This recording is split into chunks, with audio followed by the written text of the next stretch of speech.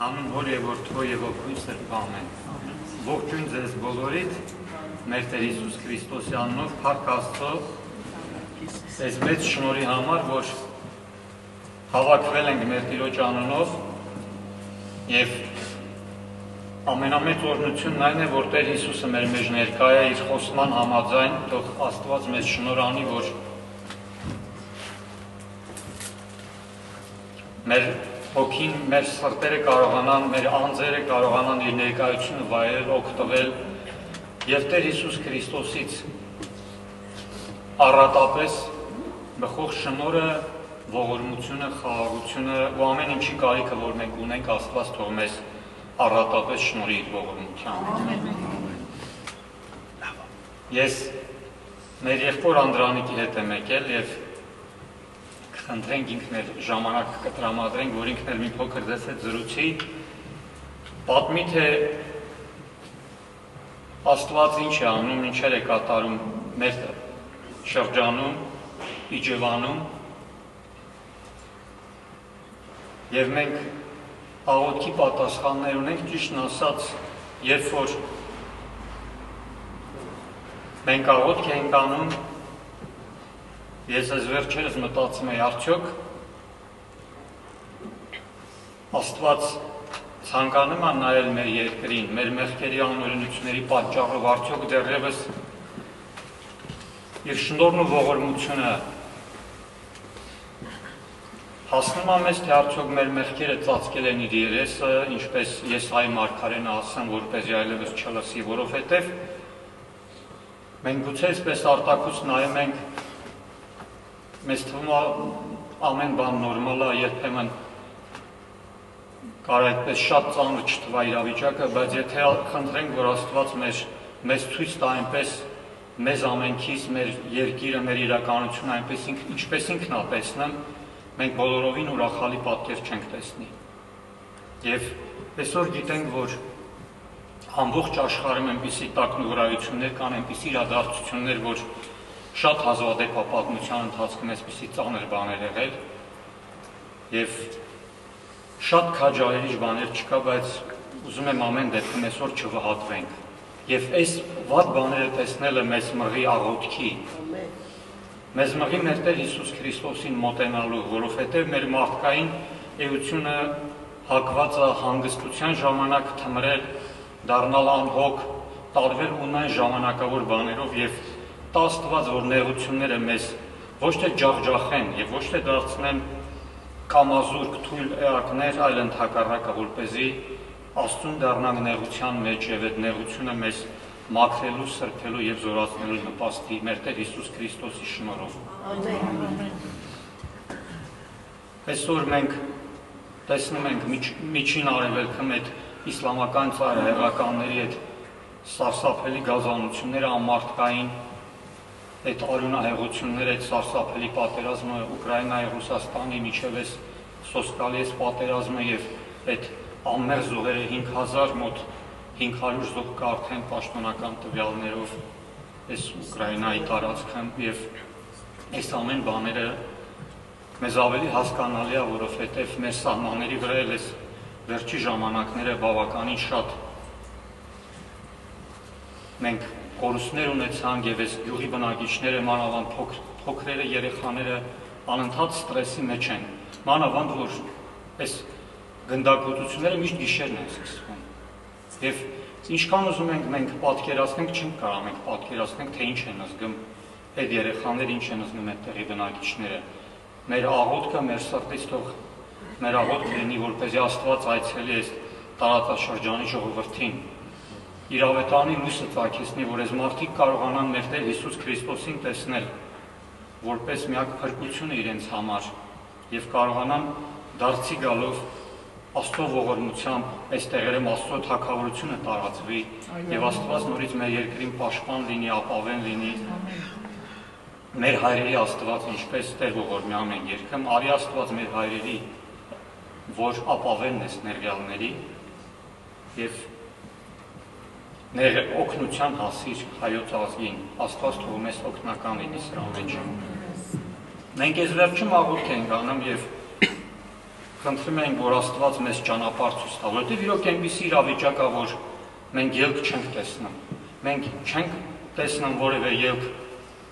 մեր կառույցներից, տարբեր տեսակի կառույցներից, որոնք մեզ ելքի ճանապարհ չեն ցույց տալիս եւ մենք ցավոք սրտի հուսահատ իրավիճակ ենք տեսնում ժողովրդի մեջ։ Բայց ես ուզում եմ Երեմիա մարգարեությունից մի փոքր տուն կարդամ, մի քանի տուն, 29-րդ գլուխ Տերը այս բաները խոսեց, երբ որ Իսրայելը իր մեղքերի պատճառով գտնվում էր գերության մեջ Բաբելոնում, եւ սա խոսեց Երեմիա մարգարեին, որ ձեզ այցելելու եմ, ձեզ պիտի վերադարձնեմ ձեր գերությունից եւ իմ բարի խոսքը պիտի կատարեմ ձեզ համար, ձեզ այստեղ վերադարձնելով, քանի որ ես գիտեմ այն խորհուրդները, որ խոսում եմ ձեր մասին, ասում է Տերը, խաղաղության խորհուրդներ եւ ոչ թե ճարիքի, ձեզ ապագա ու հույս տալու համար։ Ուրեմն մեր ապագան կախված չի մեր ջանքերից ինչ որ ուրիշ ուրեմն որևէ երկրի հզոր երկրների ծրագրերից մեր ապագան Աստված է մեզ խոստանում տա։ Աստված ինքը խոստում է տալիս, որ ձեզ ապագա եւ հույս պիտի տամ։ Եվ ասում է, որ ես ունեմ ձեզ համար խաղաղության եւ ոչ թե ճարիքի ծրագրեր, խորհուրդներ եւ ծրագրեր։ Աստված մեզ համար սքանչելի ծրագրեր ունի եւ եթե մենք իր խոսքին հնազանդվենք, Աստծո այս ծրագրերը կսկսեն իրականանալ։ Ես այսօր առավոտյան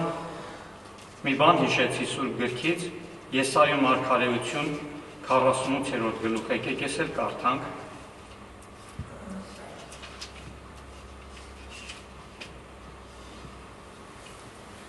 17-րդ տնից։ Այսպես է ասում Տերը, քո փրկիչ Իսրայելի Սուրբը. Ես եմ քո Աստվածը, ով քեզ արդյունավետ եղողն է քեզ սովորեցնում, ով քեզ առաջնորդում է այն ճանապարհով, որով պետք է ընթանաս։ Երանի թե ուշադրություն դարձնել իմ պատվիրաններին, այն ժամանակ խաղաղությունը գետի ու արդարությունը ծովի ալիքների պես է լինելու։ Ավազի նման է լինելու քո սերունդը, իսկ քո երանքի զավակները ծովի խճակարերի նման Նրա անունը չէր կտրվի ու չէր ջնջվի ու չէր կործանվի իմ արջևից, ասում է Տերը։ Ուրեմն Տեր Աստված մեզ ասում է Երանի թե դու լսեիր իմ պատվիրանները։ Երանի թե իմ խոսքը կատարեիր։ Իսրայելի Սուրբ ասում է. Ես եմ քո Տեր Աստվածը, ով քեզ սովորեցնում եմ այնինչ օգտակար է քեզ համար եւ արդյունավետ։ Այսօր մենք որոշակի բաներ ենք անում, մտածում ենք, որ սրանք մեզ օգտակար ու արդյունավետ կլինեն։ Հաճախ տեսնում ենք, որ մենք սխալվում ենք։ Ոչ միայն օգտակար չեն լինեն, ոչ միայն անօգուտ են լինում, այլև հա, հաճախ մեր ծրագրերը, մեր մտածած բաները մեզ վնասում են։ Միակ արդյունավետը, միակ օգտակարը մեզ համար այն է, որ ուշադրություն դարձնենք Տիրոջ պատվիրաններին եւ այն ժամանակ Աստծո խոստումը անսուտն Աստված ասում է քո խաղաղությունը գետի պես, արդարությունը ծովի ալիքների պես է լինելու։ մեր եղբայրն էլ էր, հեսա կպատմի մի փոքր կվկայի, մենք տեսանք, որ Աստված այն ամենայնիվ դեռևս մեզ քաջալերում է, որպեսզի աղոթք անենք, որովհետև այս աղոթքների ժամանակ Աստված մեզ պատասխանում էր եւ մենք տեսնում ենք, որ թեև զոհեր եղան, բայց կարար շատ ավելի վատ լիներ եւ Աստված ինչ որ ձևով մեզ քաջալերում է, որ շարունակենք մենք աղոթք անել։ Մենք սրտով իրեն դառնանք եւ առաջենք մեր երկրի համար խնդրենք խաղաղության համար։ Բայց մի հարց էլ կա։ Երբ որ մենք աղոթում ենք, որ այս կրակոցները դադարեն, որ զոհեր չլինեն, մենք նաև աղոթք պիտի անենք, որ սրանց ծնող պատճառները դրանք։ Մենք խնդրենք այն ինչը որ բերել այսօրվա ճարիքներին, Աստված արմատից կտրի այդ պատճառները որպեսզի մենք բժշկություն գտնենք ազգովի։ Այն ինչը հանգեցրել է այս այս բաներին, Աստված թող ողորմություն անի։ Այս վերջի ժամանակները աղոթում ենք ցավոք սրտի,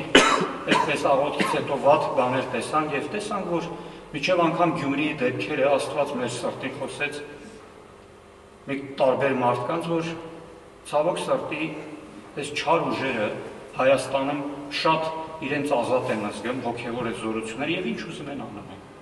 եւ սրանց դիմադրող ուժերը քչացել են։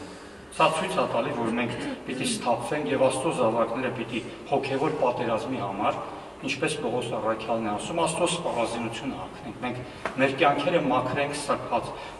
սրբանանք Քրիստոսի զորությամբ, Աստծո խոսքը կատարելով ամեն մեկս մեր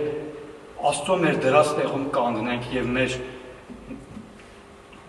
տան մեջ, մեր ընտանիքի մեջ, մեր առօրյա կյանքի մեջ Աստծո խոսքը լսենք ու կատարենք եւ հարատև աղոթենք, որ เป զի այս բաները հնարավոր լինի հաղթահարել, որ เป զի Աստված սկսի գործել մեր երկրի մեջ զորությամբ եւ իր փառքը Երևա։ Մեր արտակ եղբայրը ինքը իջևանցիա, բայց հիմա մասիսն աբնակում, մի անգամ մի պատմություն պատմեց, երբ որ մենք աղոթք ենք անում այս չար բաների դեմ, մեղքերի դեմ եւ սրանց զորացնող այս չար ուժերի դեմ, Հաճախ մարդիկ մտածում են, որ այդ հատուկ զորավոր աղոթքներ կա, դրանք անենք եւ այլն, գիտեք, չէ։ Տաները չգիտենք ինչեր են արել, ասում են, այս տան վրա օրհնություն չկա, այս տան վրա չարիք կա, անեց կա։ Շատ լավ է, քանային տանում ենք, օրհնում են, խնդրում ենք, մենք էլ ենք աղոթք անում այդ տաներեն, բայց ուրիշ հարց էլ կա, մի կողմ էլ կա։ Միայն աղոթք անելով չի։ Մեր եղբայրը պատմեց ինքը գյուղում է բնակվում, այդ ժամանակ իրենց գյուղում եւ ասում է մեր տան մոտ անընդհատ շներ էին հավաքվում։ Մանման գիշերները ոռնում էին, հաչում էին եւ տնեցներին են անհանգստացնում եւ ասում են ես սկսեցի քարով գոռում էի քարը շպրտում սրանց վրա, այս շներին փորձում էի հեռացնել մեր տան մոտից եւ նայեմ տեսնեմ որ այս շները նորից գալիս են։ Ռև չկար, սրանք անընդհատ հավաքվում են եւ հետո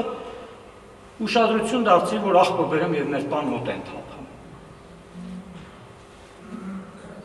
Երբ որ ասում ես, սաղ տան լրիվ մաքրեցի, հավաքեցի, այս շները դադարեցին հավաքվել եւ Աստված ասաց նայ տես։ Եթե դու չես ցանկանում, որ այդ չարիքները, որ այդ չար զորությունները մենք ամեն մեկս, եթե մեր ազգը չի ցանկանում, որ այս բաները լինեն, դրանց սնունդ ծառայող մեղքերը, պղծությունն ու ամարակությունը, անմաքրությունները պիտի մաքրվեն։ Մեր Տեր Հիսուս Քրիստոսին պիտի աղաչենք։ Բացի մեր աղոթքները հավատով հարատեվության ապարող աղոթքները մեր կյանքում Աստծուն անհաճելի ամեն բաները Սուրբ Հոգու ցույց տված ամեն բաները մենք պիտի ապաշխարությամբ մաքրենք մի կողմ նետենք մենք պիտի խոնարհվենք Աստծո առաջ որպեսզի չար այլևս սնունդ չունենա որովհետև այս այսա պատճառը Հայաստանում այնքան ամոքրություն կա որ այս չար ուժերը հավաքվում են եւ այս տխտությունը ավելի արձախքում եւ իրենք ավելի են իրավիճակը ծանրացնում Աստված թող մեզ օգնի, որ այս բանի մեջ մենք ժիր լինենք։ Եվ ոչ միայն սատանան ու իր զորություններն են այս մեղքերից հաճույք ստանում, ստանվում եւ իշխանություն ստանում մեր անձերի վրա, մեր մարմինների վրա մեզ վնասելու տարբեր ձևերով։ Եվ լավ իմանանք սատանան սկիզբ մարդասպան, ինքը հաճույք է ստանում ամեն տեսակ չարիքներից, մարդկանց արյունը հեղելուց, մարդկանց խեղելուց, ստորացնելուց, ջախջախելուց, Եվ այսօր մենք տեսնում ենք մեր երկրում ինչեր կատարվեց այս ողբերգությունները մեկը մեկի հետևից։ Սա մեզ կոչ անում ողջևոր արտության, մեզ կոչ անում նորոգության ու ապաշխարության, եւ մենք པարզ մի բան տեսանք։ Մենք չպետք է սպասենք պաշտոնական տեղերից, քաղաքական ուժերից փոփոխություն։ Մենք մեր Տեր Հիսուս Քրիստոսին պիտի դարձնենք մեր հայացքը եւ իմանանք, որ փրկությունը իրենից է գալիս, բայց փրկությունը պիտի Աստծո զավակների քրիստոնյաների միջոցով Աստված գործի։ Աստված ցանկանում է, որ մենք աղ եւ լույս լինենք եւ թե մեր կյանքով, թե խոսքով ավետարանը տարածենք եւ մեր ավետարանի խոսքը չպիտի միայն գաղափար լինի, սա կյանք պիտի լինի եւ զորություն պիտի ունենա, որ เป զի կարողանա հաղթանակ տանել եւ մարդկանց սրտերը փոխել։ Սրա համար խնդրում եմ, որ աղոթենք։ Եվ ես տեսա, որ մենք սրտանց քրիստոնյաների համար պիտի աղոթենք։ Ինչքան մենք աղոթք ենք անում մեր ազգի համար, առավել շատ մեկ մեկու համար պիտի աղոթք անենք։ Խնդրում ենք, որ աղոթք անեք եւ ես հատուկ ներկայացնում եմ, որպեսզի դուք Իջևանի եղբայրակցության համար աղոթք անեք։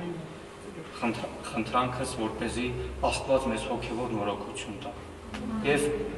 մենք ճիշտն ասած սահմանից շատ մոտ չենք, բայց հեռու էլ չենք, այնպես որ եթե հանկարծ ինչ որ բան սկսվեց, Մենք ամեն առավոտ մեր Անդրանի եղբայրը շատ մոտ է բնակում եւ այս վերջերս ինքը ասում է՝ «Տանը նստած էի իրիկունը հոգեվոր ֆիլմ էինք նայում եւ ականանետով խփել են 3 հատ իրենց տանից բավականին մոտ։ Իր փոքր զավակը 2 տարեկան է եւ պատկերացեք մարդը ինչ ազգում, երբ որ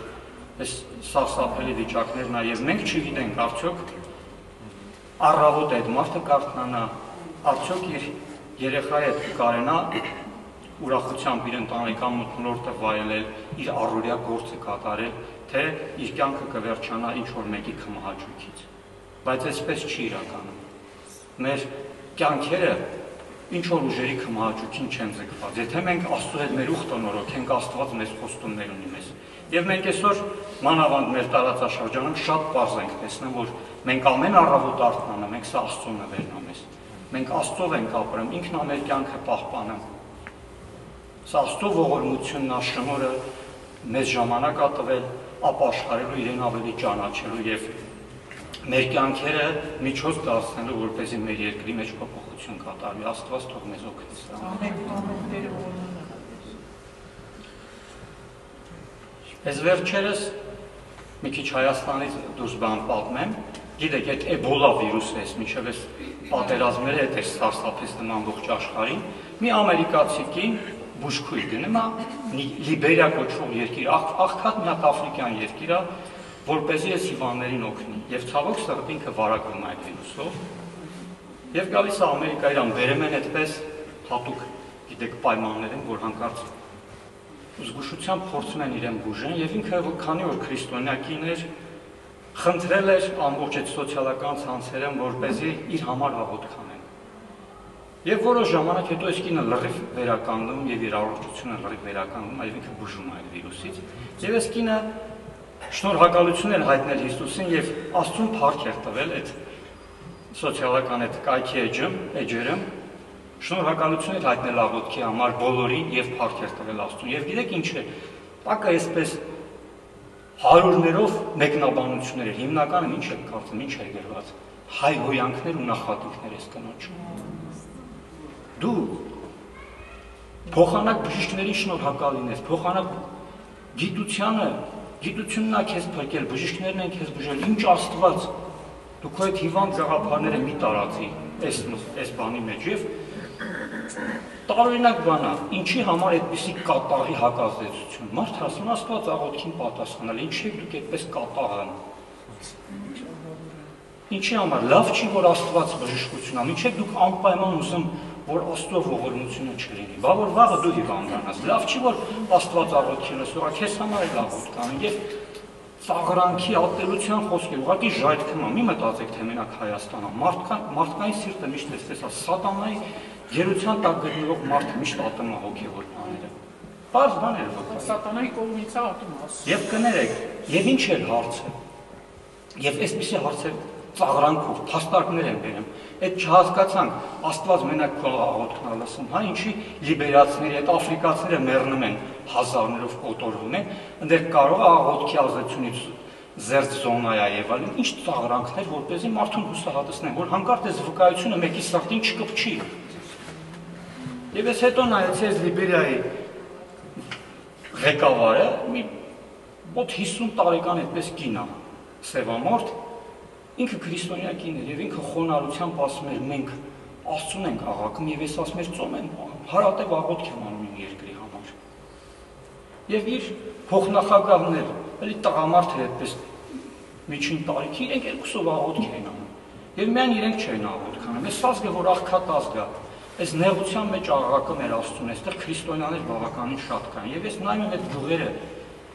իսկ կարանտինի վիճակ է, գիտեք, ոչ մեկը չի կարող այդտեղ գնա։ Սրանք արդեն սովամահ են լինում, խմելու ջուր չունեն, ուտելիք չունեն։ Այս քրիստոնյաներն եկե որ դրանց օգնեն, ուտելիքը բանը տանում են հերվն դնում, սրանք ասում են՝ մի մոտեցեք, մենք շնորհակալ ենք մենակ որ ուտելիք եք բերել, մի մոտեցեք որ չվարակվեք։ Ընտանիքա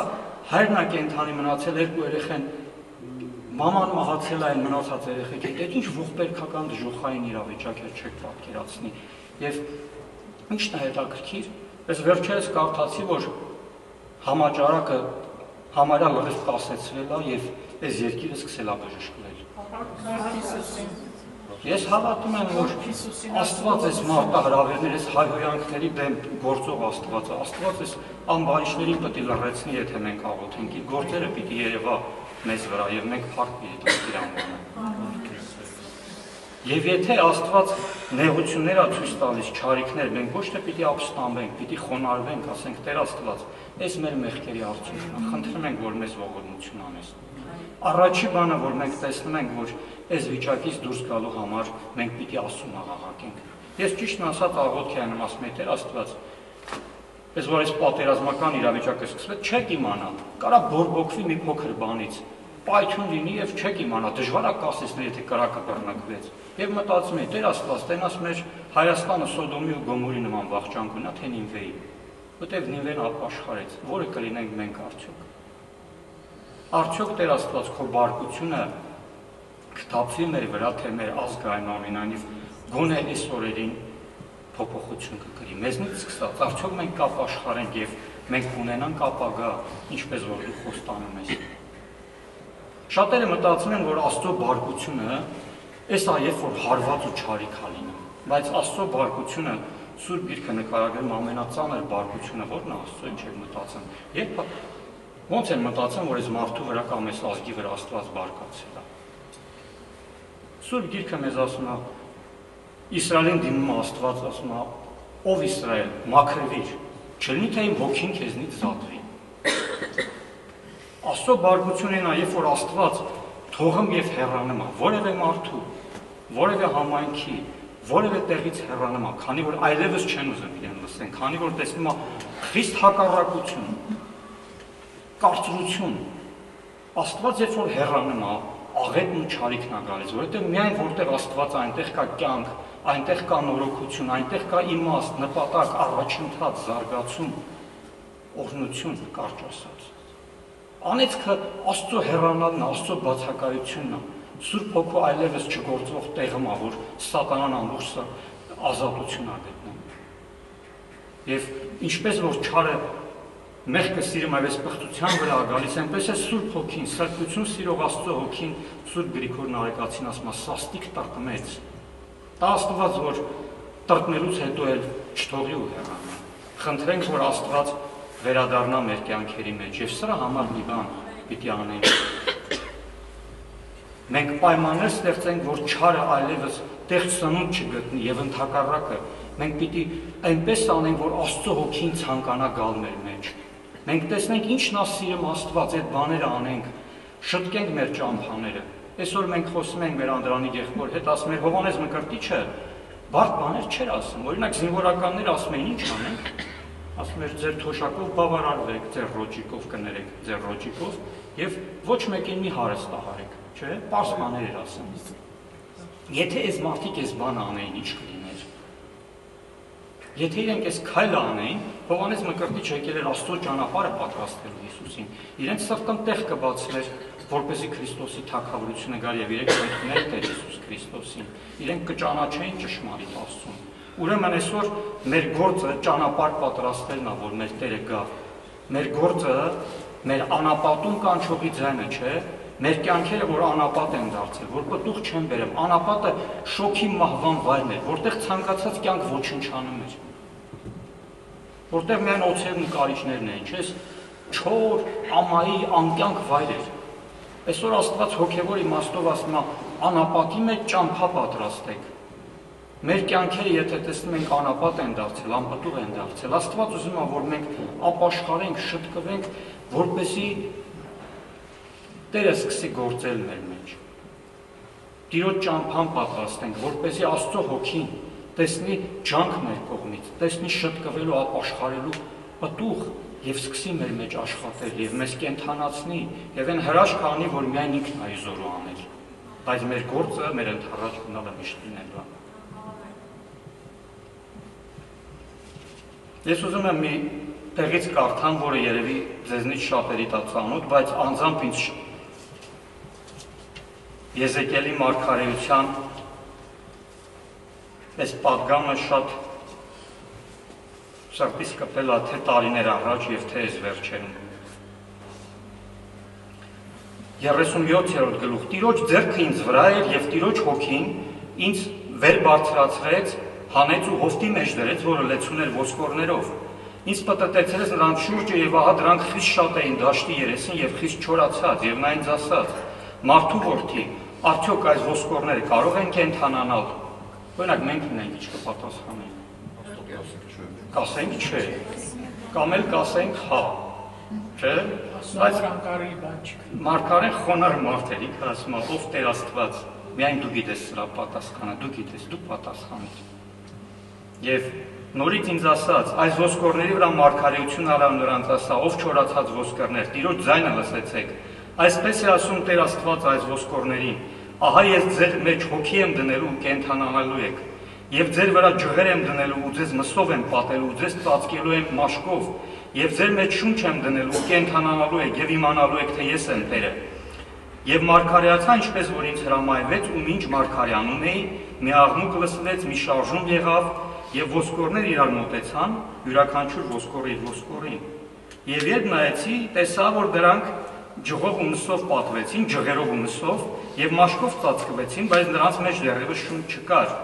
Այն ժամանակ ինձ ասաց. «Շնչի մասին մարգարեություն արա, մարգարեություն արա, մարդու որդի ու շնչին ասա»։ Տեր Աստված այսպես է ասում.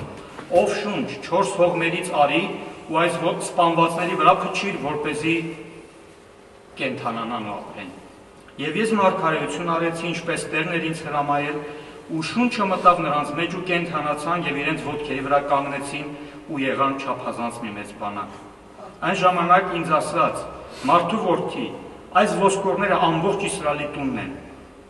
Ահա նրանք ասում են. «Մեր ոսկորները չորացան ու մեր հույսը կտրվեց, մենք կորած ենք»։ Ես մի ուրիշ թարգմանության մեջ ասում եմ, մենք հաստատ կորած ենք։ Միակ բանը, որ իրեն գիտեն, հաստատ գիտեն, որ հույս չկա, անընդհատ սա գիտակցեն եւ հաստատ կորած են, իրենց էլ հույս չկա։ Բայց ինչ ասեմ այս ժողովրդին Աստված։ Սա նորից Բաբելոնի գերության ժամանակ է Եզեկիել Եզեկիել Մարգարեի միջոցով Աստված խոսում է ժողովրդի հետ, Իսրայելի հետ։ Նրանք ասում են ոչնչացանք մենք, այս ազգը պիտի ոչնչանա, մենք այլևս ապագա չունենք Բայց Աստված ասում է. «Ոստի մարգարեություն արա ու նրանց ասա, Տեր Աստված այսպես է ասում. Ահա ես ձեր գերեզմաններն եմ բացելու ու ձեզ ձեր գերեզմաններից հանելու եմ, ով իմ ժողովուրդ, ու ձեզ բերելու եմ Իսրայելի երկիրը։ Երբ ձեր գերեզմանները բացեմ ու ձեզ ձեր գերեզմաններից հանեմ, ով իմ ժողովուրդ, պիտի իմանաք կամ պիտի ճանաչեք, թե ես եմ Տերը։ Եվ իմ հոգին ձեր մեջ եմ դնելու ու կենթանանալու եք, ու ձեր երկրում ձեզ հանգստացնելու եմ ու ճանաչելու եք, թե ես Տերս խոսեցի ու կատարեցի, ասում է Տերը։ Փառք Աստծո սրանք։ Իմ կյանքում ես իմ կյանքի ամենամեծ դժվարություններից մեկն էր, գուցե ձեզանից շատերը շատ ծանր նեղություններն եք, բայց ամենքին իրան չափով ատրվում։ Ինձ համար դա ահագին ծանր էր, կյանքիս ամենածանր պահն էր եւ ընտանիքիցս հեռու էի եւ միայնակ, մոտս ոչ մի մարդ չկար։ Եվ այդ ժամանակ կինս ինձ նամակ գրեց եւ Աստված իրեն ասել էր, ես ես ճիշտ այդպես եմ մտածում, վերջ այլևս հույս չկա, եւ Աստված իրեն էս խոսքներ ասել։ Դու կենթանանալու ես եւ իմանալու ես, թե ես Տերը սա խոսեցի ու կատարեցի։ Ես մտածում եմ, որ ֆիզիկապես էլ եմ ոչնչանալու, ուղղակի չեմ կարա կյանքս այլևս վերջացավ եւ այլն եւ ծանր իրավիճակ էր իրոք։ Եվ որ կարդացի այս խոսքը, այս խավարի մեջ մի փոքր լույսի նման այս խոսքին շատ փոքր հույս տվեց։ Բայց դրանից Մի տարի հետո Աստծո այդ խոսքը կատարվեց։ Ես այդ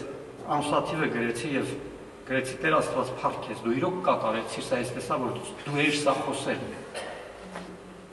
Այսօր Աստծո խոսքը մեզ ա վերաբերվում։ Մեր ամեն մեկին եւ նաեւ մեր երկրին, եթե մենք իրոք հավատով ընդունենք եւ ընդունենք։ Եվ մենք կասեք, այդ լավ ես ասում, բա գործնական ինչ անենք։ Սուրբ Գիրքը մեզ ասում է, որ եթե իմ անունով կոչված ժողովուրդ, այսինքն քրիստոնյաները, ինչ անեն, դարձի գան եւ առաջին քայլը ասում է խոնարհվեն։ Երկրորդը աղոտ կանեն։ Հաճախ մեր աղոտները տեղ չեն հասնում, որտեղ մենք չենք խոնարհվում իրոք։ Եթե առաջին բանը մենք հպարտ ազգ ենք, հպարտ մեր ազգային էությամբ, բայց նաև մենք քրիստոնեական հպարտություն ունենք, չէ՞, այսպես հոգևոր կներեք, ճակերտավոր Օրինակի համար ես մարդկանց դատում եմ, ինչա նշանակում։ Պարզ բան է, ես թվում ես ուրիշ եմ, իրենք ուրիշ եմ, դրա համար դատում եմ։ Աստված թող այս ամեն ամաքրություններից մեզ մաքրի, մեզ խոնարեցնի։ Ես ինչ եմ ասում ես դատելու մեղքը, կարող է մենք արտակ արտակուց այդպես իրար լավ քրիստոնյաներ ենք թվում, բայց մեր սրտի մեջ ինչա կատարում։ Որոշ ժամանակ առաջ Ես աղոթքի ժամանակ զգում եմ, որ ուղղակի Աստծո ներկայությունից կտրված եմ։ Կարծես թե Աստվածային կյանքը ինձնից հեռացավ։ Ես մտածում եմ, տեսնես ինչի՞ց է, եւ Աստված մի անգամ կատարակի ժամանակ, երբ որ աղոթք եմ, ասես, սա դու մեջ դատում ես դու ուրիշ քրիստոնյաներին։ Ես որ Աստված ինձ ողորմություն արեց, խոնարհեց, հետ ես մեղքին ներսից հանեց, ինձ բժշկեց, չեմ ասում, բայց փոփոխություն եղավ իմ սրտի մեջ եւ ես աշխատում եմ որպեսզի Աստծո կատարած այդ փոփոխության վրա ավելի ես էլ ջանք եմ անում որ Աստված ինձ ավելի առաջ տանի այդ ճանապարհով ես տեսա որ Աստծո ներկայությունը նորից եկավ կյանքից մեջ եւ իմ կյանքը փոխվեց եւ տեսա դրանից ոչ միայն իմ կյանքը փոխվեց այլ տեսա իմ շրջի մարդիկ էլ սկսեցին փոխվել Ուրեմն ինչը մեզ կարա փոքր թվա, Աստծո համար փոքր չի եւ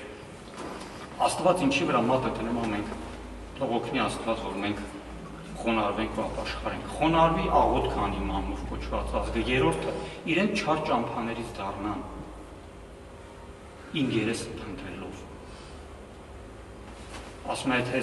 4 քայլ անեն, ես էլ նրանց աղոթքը պիտի լսեմ, նրանց ողորմություն պիտի անեմ, նրանց երկիրը պիտի դուժեմ ոչ միայն իրանց Սրանից հետո Եզեկիելին Աստված ասում է, շարունակ մի ուրիշ տեսիք է տալիս, ասում է վերցրու մի փայտ, վրան գրիր Հուդայի նրա անկերակիցների Իսրայելի որդիների փայտը, հետո մի ուրիշ փայտ վերցրու, չէ՞։ Ուրեմն գրի Հովսեփի Եփրեմի փայտը ու նրա անկերակիցների բոլոր Իսրայելի։ Կարճ ասած, այստեղ Աստված ներկայացնում է Իսրայելը մինչև գերության գնալը, գիտեք, պարակտում է եղել եւ հյուսային թակավորությունը եւ Հուդան բաժանվել էին պատերազմներ էր եղել, արունահեղություն էր եղել եւ այս ազգը այսպես բաժանված էր։ Աստված էս կենթանանալու էս ոսկորների տեսիլքից հետո, որոնք կենթանանում են, պատմում է ասում է երկու փայտը, որ տարբեր են անունները գրած, վերցրու ձեռքիդ մեջ միացրու մեկը դարձրու, երբ որ Իսրայելի որդիները հարցնեն, թե ինչ է այս խոսքը, ինչ ես ուզում սրանով ցույց տալ այս օրինակով, կասես, որ ահա ես վերցնելու եմ Հուդան եւ Իսրայելի տունը իրան նորից իրար են միացրել եւ մեկ են լինելու եւ այլևս չեն բաժանվում։ Եվ Աստված ասում է, սա անելու եմ։ Այսօր մենք մարմնավոր Իսրայելի վրա տեսնում ենք Աստծո խոստումները իրականանում են, չէ՞։ Բայց մենք առավել այս խոստումները առաջին հերթին հոգեվոր իմաստով մեզ են վերաբերվում քրիստոնյաներից։ Ուրեմն մենք պիտի խոնարհվենք, մենք պիտի ապաշխարենք եւ պիտի ջանանք միաբանության համար։ Որպեսզի ամեն արգելքները վերանան են ճամփից որով Աստված կամենում է, որ մեզ այցելի բժշկի եւ ողորմություն։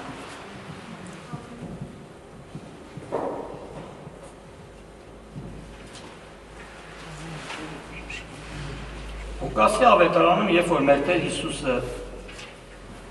աղոթում էր, իր աշակերտները խնդրեցին ուրեմն, որպեսի աղոթել սովորեցնի եւ Ղուկասի ավետարանում հայր մեր աղոթքից հետո Հիսուսը մի առակ ապատնում, Մաթեոսը մի քիչ ուրիշ ձևով է, իսկ Ստեղ շատ հետաքրքիր է։ Հայ մերից հետո Հիսուսն ասում է. «Ձեզնից ով է, որ մի բարեկամ ունենա եւ կես գիշերին նրա մոտ գնա ու նրան ասի, բարեկամ, ինձ երեք հաց փոխտուր։ Սա պարզ է, որ Հայաստանը, չի որ կես գիշերին նստած կամ հերոստացուցն այլիսն են կամ քեֆ անելիսն են, այդ մենք ուշ ենք քնում։ Հիմա իս հрьяաները մուտ մտնելու պես հրև քնում են մեծ մասը եւ կես գիշերին արդեն այդ մարդիկ արկած էին, դռները փակված էին, քնած էին։ Եվ այս մարդու մոտ քանի որ իր ճանապարհությունից իր ընկերն էր եկել իր բարեկամը, Հрьяաների համար մեծ անպատվություն կներ, որ այդ գիշերը հատ չտնեն թյուրի առաջ, ճամփից հայակել հոգնած սոված եւ պարտադիր թարմ ուրեմն լավաշներ պիտի տնեին։ Գնում է եւ 3 նկանակ հաց խնդրեմ։ Եվ ասում են նայել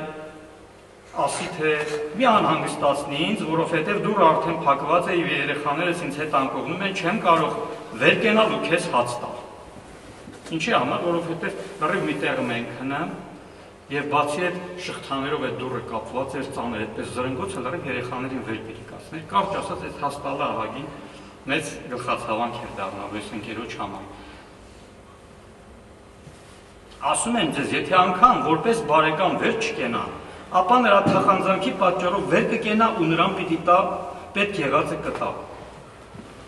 Այսինքն, եթե նույնիսկ չի էլ ցանկանում, քանի որ այս մարդը շատ պնդերես է, չի դադարում այդպես դուրը թակելուց, հավանաբար արդեն մեկ ալրև վեր են կացել, սրա համառությունը ստիպում է որ เป զի վեր կենա այդ հացտակ։ Չգիտեմ հայերեն թարգմանությունը դուք ո՞նց եք հասկանում, բայց դեռ ասում եմ, որ ինքը շատ երկար է թակը, այնպես կպած ուզում է, որ ընկերոջը պարզապես ուղակի իր կամքին հակառակ, եթե անգամ որպես բարեկամ չի ուզում տա, պարզապես ստիպողաբար վերակենում եւ այդ հացը տալիս այդ Եվ ուշադիր լինենք, որ այստեղ ինքը իր անձի համար չի խնդրում, չէ՞։ Խնդրում է, որ ուրիշի առաջ լինի։ Ասում եմ ձեզ, խնդրեցեք եւ պիտի տրվի ձեզ, փնտրեցեք ու պիտի գտնեք, դուրը բախեցեք եւ կբացվի ձեր առաջ, որովհետեւ ամեն խնդրող առնում է, ամեն փնտրող գտնում է եւ թակողի առջև դուրը բացվում է։ Կասենք, բա մենք որոշ բաներ խնդրեցինք չտրվեց, դռներ թակեցինք չբացվեց։ Արդյոք մենք այն ձեով ենք խնդրել ինչպես Հիսուսն է ասում, ստեղ չի ասում, մի անգամ խնդրի, երկու անգամ խնդրի։ Շատ երկար։ Ասում այնքան բախիր միջով բացվի այնքան խնդրիր միջև ստանաս, այնքան փնտրիր միջև գտնես։ Սա հարատեվության մի օրինակ է, որ մենք հիշում ենք Հակոբի պատմության մեջ, երբ որ ինքը բռնել էր Աստծո հրեշտակին, ասում է, քեզ բաց չեմ թողնի միջև չորնես։ Սա շատ կարևոր այսօր մտածում եմ, թող Աստված սրտերիս է սրդենի, որ մենք աղոթքի մեջ, եթե գիտենք, որ ճիշտ այս ճանապարհը, հարատևենք միջև պատասխան առնենք։ Եթե Աստված պիտի ասի, այդ դուռը չեմ բացում, սա քեզ վնասակարը արդեն պատասխան ենք առել, բայց մենք միջև պատասխան չառնենք մեր աղոթները պիտի չդադարեցնենք։ Ինչի համար ենք մենք աղոթում։ Հիմա շարունակում է Հիսուսը, որովհետև ով է ձեզնից այն հայրը, որ եթե իր որդին հաց խնդրի նրանից, քար կտա նրան, եւ եթե ձուկ խնդրի, միթե օծ կտա նրան, կամ եթե ձու ուզի, միթե կարիճ կտա փոխարենը նրան։ Ոստի դուք որ չար եք եւ գիտեք բարի պարգևներ տալ ձեր զավակներին, ապա որքան ավելի ձեր երկնավոր հայրը կտա Սուրբ Հոգին նրանց, ովքեր խնդրում են նրանից։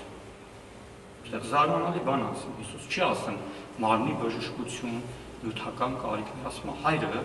երկնքից Սուրբ Հոգին կտա իրեն խնդրողներին։ Եվ մենք հաճախ մեր աղոթքները դարձնում ենք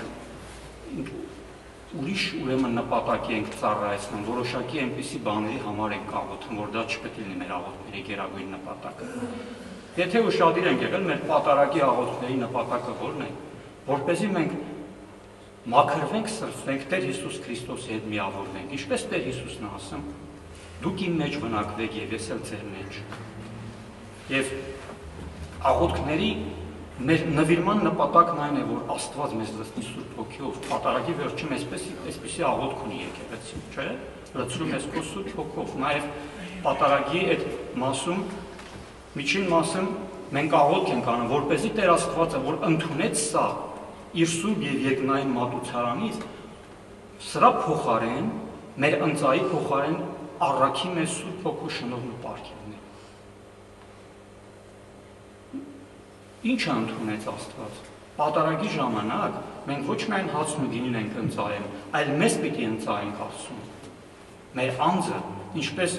Սուրբ Գիրքն ասում, մեր հոգին շունչը մարմինը, Տեր Աստված, մաքրիր ու սրբիր։ Ես քեզ համար եմ ապրել Եթե այս ընծայում Աստված տեսնում է, ինքը մեզ լցնում է իր Սուրբ Հոգով, եւ սա աղոթքի գերագույն նպատակն է։ Աղոթքի նպատակը ոչ թե ինչ-որ բան ստանալն է, այլ կենթանի Աստծով լցվելը, Սուրբ Հոգով նորոգվելը, մեր մեջ Աստծո թակավորության նորոգվելը, որը միակ ճշմարիտ կյանքն է, որ Աստված ցանկանում է մենք ապրենք։ Եվ եթե Սուրբ Հոգին մեզ լցնի, սկսի գործել մեր մեջ, Աստված կկատարեն ինչ որ կամենում այս Եզեկիելի մարգարեության տեսքիք Աստված մեզ ոտքի կկանգնեցնի եւ ինքը կփառավորվի։ Եվ ես հավատում եմ, որ ինչ որ մարդիկ կան, որ իրոք ապաշխարության կյանք են ապրում, շտկվում են, որովհետեւ իրենց աղոթներով Աստված ինչ որ շարժ անում մեր կյանքերը, մենք սա տեսնում ենք, մենք սա զգում ենք։ Դա Աստված որպեսզի այս մարդիկ ավելի շատանան, այս կրակը տարածվի եւ Աստված այս բոցը մեր մեջ բորբոքելով սկսի մեր շուրջը այս ամեն անհաճելի բաները այրվի մեր ներսից սկսելով եւ Աստծո հարքը երևա եւ մենք տեսնենք օրինակ հեչ եղել է մեր մեջ որ հանկարծ Աստծո խոսքը մեր սրտին կպել է հանկարծ Աստված մեզ այցելել է եղել է չէ Մեր եղբայրության բոլոր անդամները, այս ձեզանից շատ մարդ իջևանում ապաշխարել է։ Մի քանի անգամ շատ։ Վարդան եղբայրը կհիշի։ Հարյուրներով մարդիկ դարձի են եկել։ Այսօր մի քանի հոգի մարդ է մնացել։ Բա ո՞ր են այդ մնացածները։ Լրիվ կարան վկայեն, որ իրենք Սուրբ Հոգու այցելությանը հաղորդ են Աստված իրենց սրտերին դիպել է։ Շատ շատերը, գիտեք ինչ են ասում, ասում են այն ժամանակ մենք տրանսպորտ չկար, գյուղից ոտով գալիս ենք պաշտամունքի։ Ասում են այն ժամանակ մենք գործ չունենք, ոչ մի բան չունենք, բայց Աստված մեզ պահում էր։ Եվ իրանք վկայում են, Աստված մեզ աշխատանք էլ տվեց, տուն էլ տվեց, մարդիկ աղքատ խշ թշվառ Աստծուն դարձան, Աստված ամեն բան տվեց։ Մարդիկ հիվանդ բժշկվում էին հրաշքներով։ Հաշտվում էին իրար հետ թշնամիները։ Իրոք հրաշքներ էր կատարում։ Եվ Աստված իրոք գործում է, շատ շատերը տեսել են, որ Աստծո կրակը իրենց սրտին ադիպեր։ Կենթանի Աստծո ներգործությունը շատեր ապրել են։ Այսօր ինչ հակապարել։ Ինչի այդ կրակը հանգավ։ Տիմոթեոսին Պողոս Առաքյալն ասում է, քեզ հիշեցնում եմ, որ արծարծես այն պարգևը, որ քեզ տրվեց, երբ իմ ձեռքերը քո վրա դրվի։ Դրի։ Ինչ էր եղել այն ժամանակ ձեռնադրություն էին անում, այսօր մկրտության ժամանակ դրոշն են անում Սա նկարագրում է որպես մի կրակ, բոց, որը այս մարդու սրտի մեջ հակել, բայց ասում դու դա բորբոքիր այդ կրակը, որ տարածվի, մի թող դա հանգչի։ Երեք մենք մի բանից էինք մտածում, այն Մավուսի ճանապարհին, երբ որ Հիսուսը սկսեց խոսել այս լրիվ հուսահատված այս մարդկանց հետ, ճիշտ են վիճակները, ոնց որ Եզեկիելի տեսիքն, չէ՞, այս երկուսը Մավուսի ճամփորդները լրիվ հոգեորապես հուսահատված, ջախջախված եւ իրենք հույս չունեին բացարձակ ասում են մենք հույս ունենք, որ նա պիտի ազատի Իսրայելը, բայց ինքը մեռած է։ Եվ երբ որ Տեր Հիսուս խոսեց այս մարդկանց հետ, իրենց սրտերը սկսեց բոցավառվել։ Իրենց մեջ կարակ առաջացավ։ Իրենց մեջ ինչ որ հույս արտնացավ։ Եվ գիտեք ինչ եղավ, երբ որ արդեն հասան այդ գյուղը, սրանք ասեն մենք մտնում ենք տուն, Հիսուսն էր ճանապարհը շարունակում, ձևացնում որ ուրիշ տեղ է գնալու։ Ինչի համար։ Հիսուսը այդպես ձևեր չի, չի սիրում անել, մենք գիտենք, ինքը պարզապես